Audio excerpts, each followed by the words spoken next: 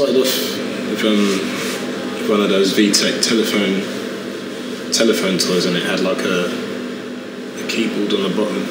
It just started from there, really, and then my, and then my grandma got me a little a little um, toy keyboard when I was maybe five, six, between the ages of four and six. I can't quite remember.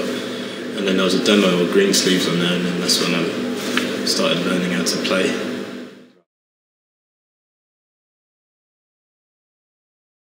Kind of it's just once I had access to those instruments really because I mean at home I didn't really I didn't have I didn't have those instruments. You know I just had some keyboard just a little keyboard and then there was an organ at my grandparents and and um, yeah I mean I didn't have access to bass until I was until I was in my mid-teens really. I mean I only bought my I bought my first bass a few years ago.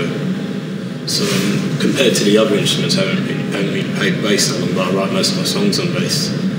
And just listening to records, really, you know, like realizing that I had like um, a, trombone, a trombonist friend of mine in secondary school um, clocked had perfect pitch. I didn't know what that was, and then um, and then he explained to me what it is, and then that he explained how that was giving me the ability to play play instruments and like by ear and just working out songs and stuff. And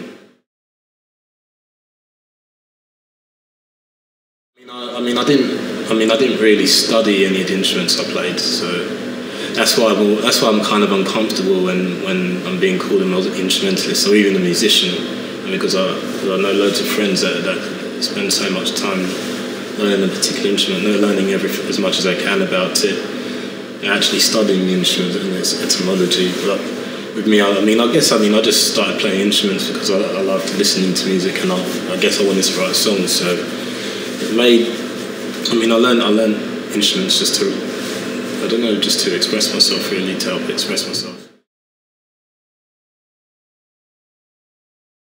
I mean, artists like visual artists and yeah, musicians experiences, you know, usual usual kind of songwriter kind of um, beacons of inspiration. I mean, in terms of musicians, I, I keep going back to Robert Wyatt from Soft Machine, and Todd Rundgren. There was so many. Um, Beach Boys, Jay Dilla, Madlib, um, lots of pop stuff actually. Um, been been enjoying Beyonce's music recently. Um, I mean, there's Joni Mitchell. I mean, there's, just so, so much, so much. Like, I just I'm always researching and just trying to find new music as well, well as, as well involved.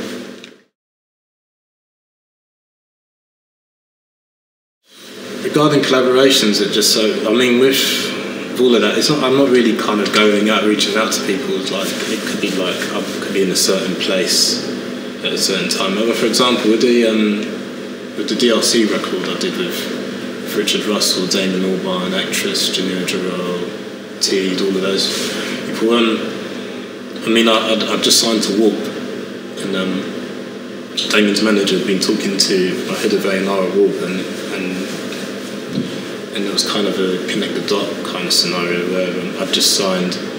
I'd done a remix for, for, for Damon like a couple of years before that, or prior to that, and then it just seemed like Damon, Damon was just really up for me coming along. So really, it's, it's circumstance, and you know, and I could be really feeling someone's work, someone could be really feeling what I'm doing, and we meet up somewhere, and it's not really me just kind of like dropping people like come come work with me and stuff. It's no, it, it never really was like that.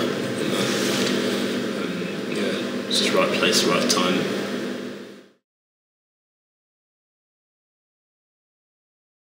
I'm, I'm a producer, songwriter first and foremost. I mean, I get way more kind of satisfaction finished, finishing off someone else's record, else's record, or a band's record, or, or helping them realise their vision. You know, Really, I'm really into that side of things. I mean, I get, I mean, I enjoy working on my own stuff.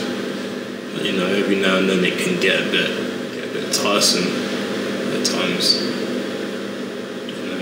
because you want to get a record right. And I didn't think I'd be like that with my own record. I thought I'd be just really um, not precious about it and just bash it out. But it's it's taken way longer than than I um, imagined it to. I mean, I, yeah, I enjoy it. I mean, it's just it's just a bit more difficult.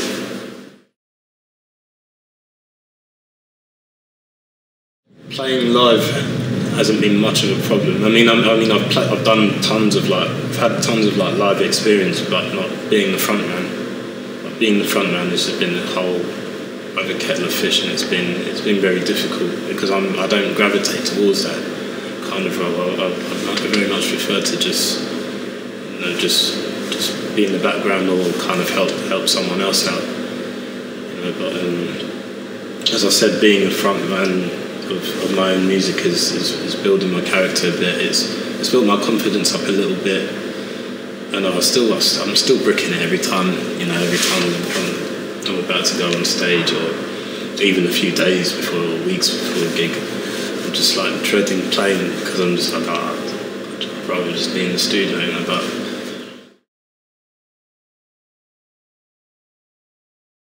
I they I mean, they funded our trip to um, to South by Southwest last year. It was a it was it was a brilliant like experience, having never been to Texas before. You know, and um, yeah, I mean, just did all the things we would would have done if we had the money to go to South by Southwest. So it was um, really thankful, and the PRS um, gave us the opportunity to do that.